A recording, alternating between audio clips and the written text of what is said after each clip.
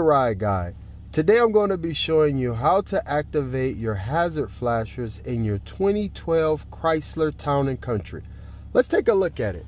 When we're looking for the hazard flasher symbol, we're looking for two red triangles, which is indicated right here in the center.